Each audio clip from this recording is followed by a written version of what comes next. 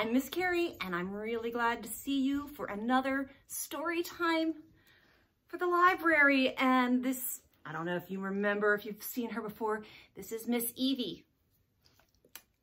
Evie is my puppy dog, and sometimes she likes to help out with story time. So we'll see if she wants to help out with us today or not. She wanders around.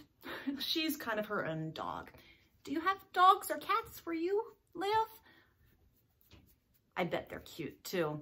I wonder if they like to sit and watch story time with you while I sit and make story time with my dog. I've got some pretty good stories today. I don't know if you noticed, but there's a whole lot of snow outside. And I got to thinking about snow and I got to thinking about maybe some animals that like snow and maybe some of these animals you don't know about. Maybe you've never heard of these animals, but I am eager to share them with you.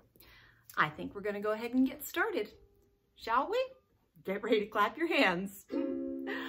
clap your hands if you love stories. Clap your hands, I know you do. I'm so glad that we could be together. Glad to share a story time with you. All right, our first story we're gonna hear about today is about an ox. Do you know what an ox is?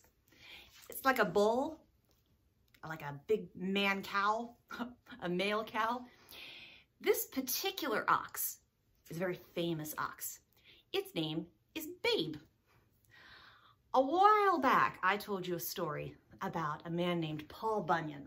And I don't know if you remember that story, but Paul Bunyan was a lumberjack. This is something we call a tall tale. Remember, I've explained tall tales before, but just in case you don't remember, these are stories that people tell that they exaggerate.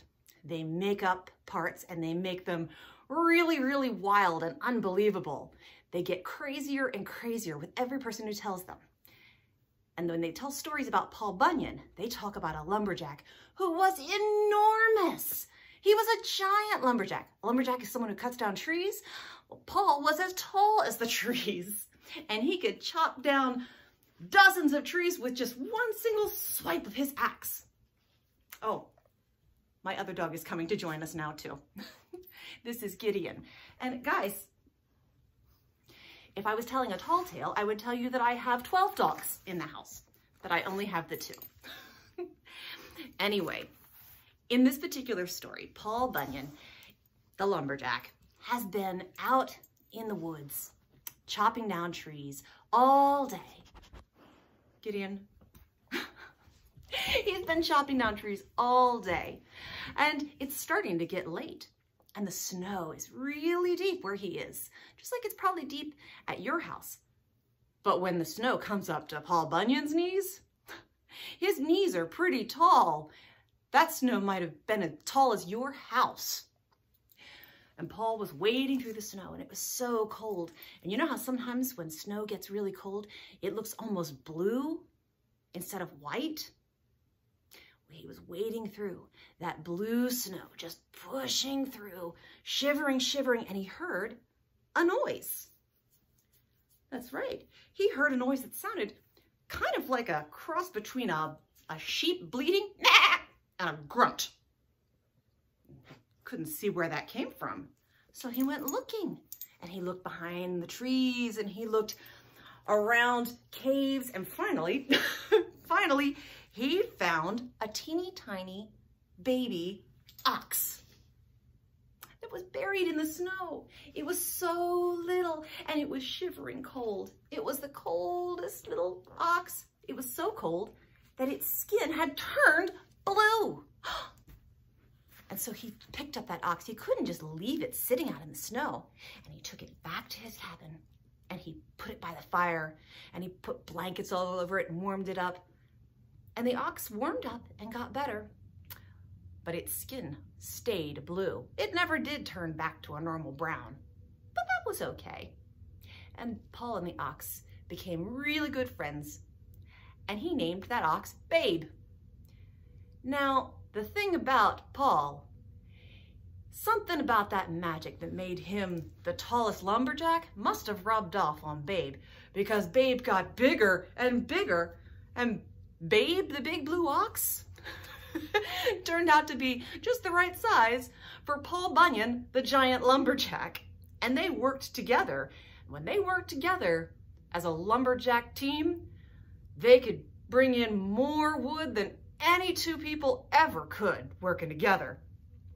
They would make giant piles of a hundred trees and they would tie them to Babe's back and Babe would pull them along in the snow, carving great big ditches, great big lines and trails in that snow. It was amazing. And after a while, they had gotten so to be such good friends that they didn't think they could be missing much of anything else. But one day, when they were out, they were wandering around, they happened to find another little cow. And this cow, instead of being blue, was yellow. So yellow they almost didn't see her hiding in the hay. Well, they pulled her out and they decided to name her Sunny because she was just about the right color to be called that. And she grew and grew and grew too. She didn't quite get as big as Babe did, but she was still plenty big enough.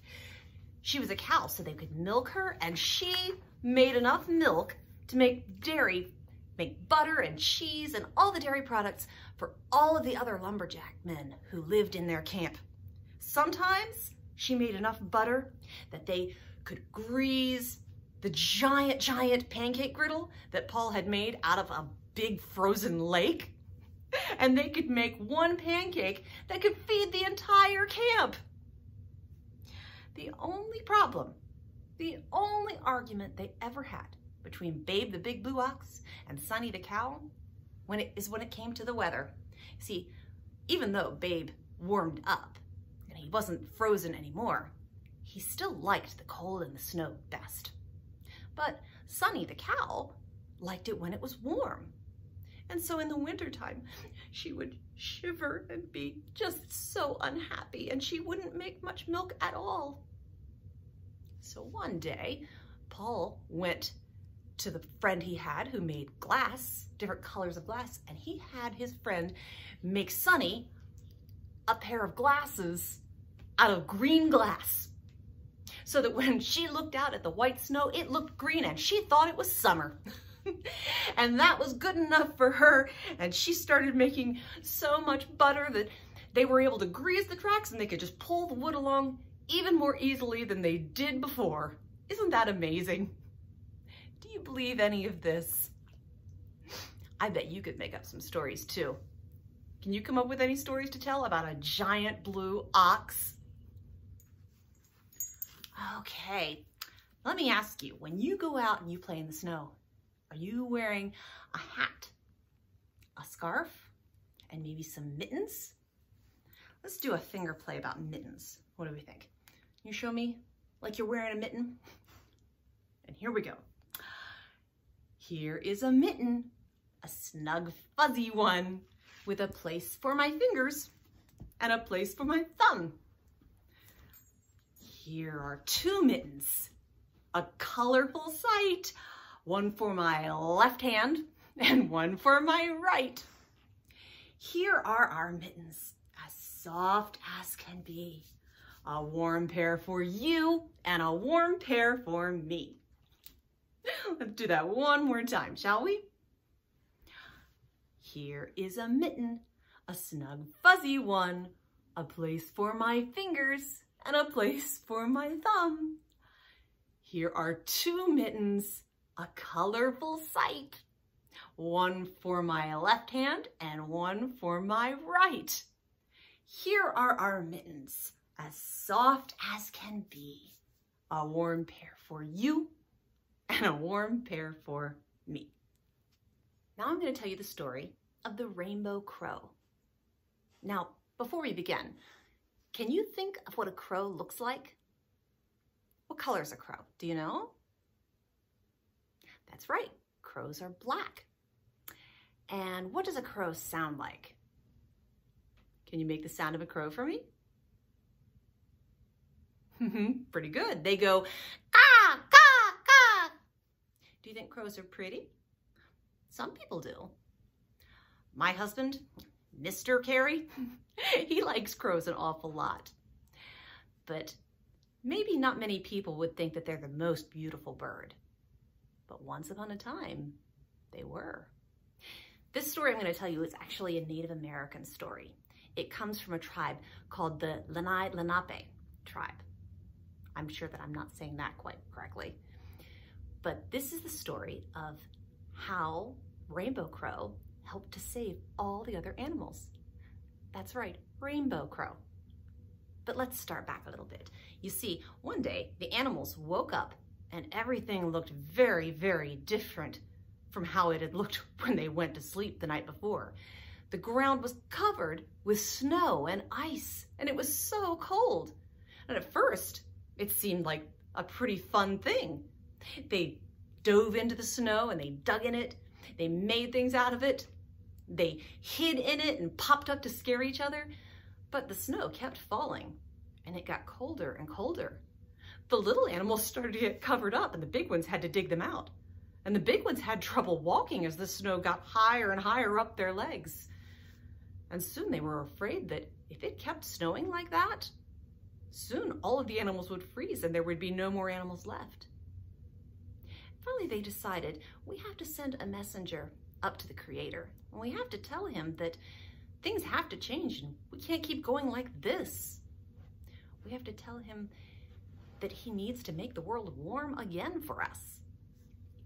And they decided that was a pretty good plan, but then they got to arguing about who was gonna go. They thought about sending Mr. Owl, who was very, very smart, but the owl could only really see well at night, and since it was gonna be a pretty long journey, they didn't want to send someone who couldn't see during the day. They decided that Coyote couldn't go because Coyote got distracted pretty easily and they needed someone to stay focused. They knew that the turtle could stay focused, but the turtle would take far too long to get there. And they decided finally that the person they knew that they could send that would stay focused and would get there quickly was Rainbow Crow. Not only was Rainbow Crow perfect in those regards, but Rainbow Crow was so beautiful. They thought the creator would really listen to him. And Rainbow Crow had the most beautiful singing voice. He could sing the most wonderful songs that anyone would stop and listen to. Well, it was a really long trip. It was three whole days straight up, straight up past the clouds and then past the sun and the moon and the stars themselves. Crow had to work really, really hard to fly there. And finally, when he got all the way up to where the creator lived, he called out, but no one answered. And he called out again, but no one answered because you see, creator was wrapped up in his thoughts, thinking of all the new things that he could put down on earth for the animals to have fun with or not. And finally, Rainbow Crow started to sing and sang his very, very best song, and that got the creator's attention. The creator came to sit and listen to this beautiful bird sing this wonderful song. And when the crow finished, the creator said, what can I give you? How can I thank you for that song? And the crow said, the animals and I would like you to unthink the snow.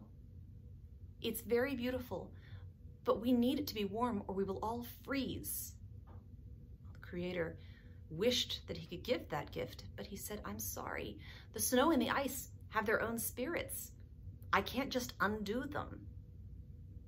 And the crow said, well, what are we going to do? The creator said, you're not going to freeze. I have something that you can have. And he took a stick and he stuck it into the blazing sun. And he brought it to the crow and he said, this is fire. This will keep you warm. But you need to be very careful and very quick taking it back to the earth before the whole stick burns up. The rainbow crow thanked the creator very, very much and took the stick in its beak and began to fly back down to the earth. And the fire was burning hotter and hotter as the crow tried to fly as fast as it could. When he was passing the stars, the flames started to creep toward its tail and he felt the heat against his feathers there. when he was passing the sun and the moon, that heat grew hotter all the way up on his body. He felt his feathers starting to singe around the edges, and he flew as fast as he could.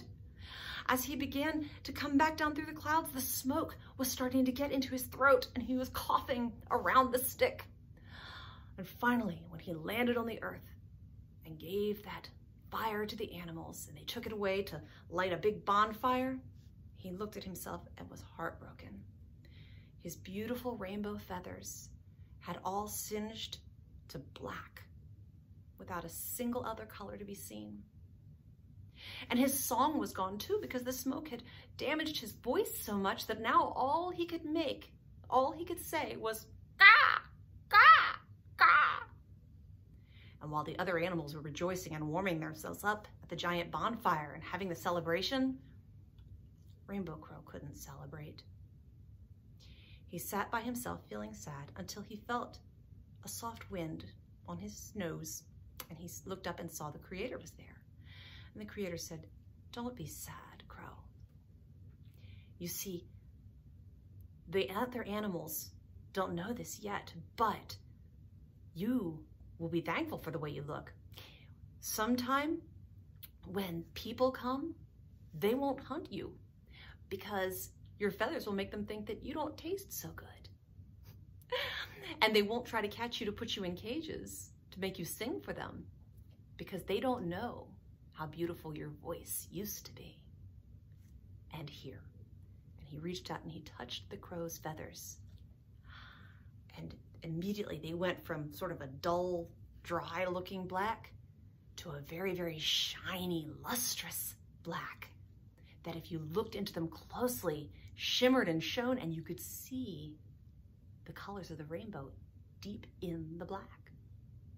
He said, that will remind all of the animals of what you did for them, and they're going to be thankful to you forever. Let's do the Snokey Pokey. I think we've done this one before. Do you remember how it goes? As long as you can remember what you put on to go play in the snow, you should be able to figure this out. okay, we're gonna start with our left mitten. Okay, so make your mitten for me. And you put your left mitten in, push it in forward to the front. You put your left mitten out, pull it back. You put your left mitten in and you shake it all about. You do the snokey pokey, that's when you kind of spin around and you turn yourself about. That's what it's all about. I think we can do the rest of it without the instructions. You ready? You put your right mitten in, you put your right mitten out, you put your right mitten in and you shake it all about. You do the snokey pokey and you turn yourself about. That's what it's all about. You put your hat in, you put your hat out, you put your hat in and you shake it all about. You do the snokey pokey and you turn yourself about. That's what it's all about. You put your right boot in, you put your right boot out, you put your right boot in and you shake it all about. You do the snokey pokey and you turn yourself about. That's what it's all about. You put your left boot in, you put your left boot out, you put your left boot in, and you shake it all about. You do the snokey pokey and you turn yourself about. That's what it's all about. Should we put our whole snowsuit in? You put your whole snowsuit in, you put your whole snowsuit out, you put your whole snowsuit in, and you shake it all about. You do the snokey pokey and you turn yourself about. That's what it's all about. Now we just dance. You do the snokey pokey, you do the snokey pokey, you do the snow snokey pokey. That's what it's all about. well, it's dog crazy time again. I am so glad that you came to listen to story time today. I really, really am. Gideon is too. And I hope that you have some fun going out and playing in the snow. Maybe making some snow angels or a snowman. I know that I'm having fun playing in the snow. And I know that these guys are too. So I will see you next time and maybe you can, don't Evie, you leave him alone. maybe you can send me some pictures of the nice snowmen and snow angels that you make for me. Okay? So in the meantime, are you ready? Reach for the ceiling and touch the floor. Stand up again. Let's do some more. Touch your head. and now your knees. Even get back. Up to your shoulders. Like this, you see. Reach for the ceiling. And touch the floor. That's all there is. There isn't any more. Bye-bye, boys and girls.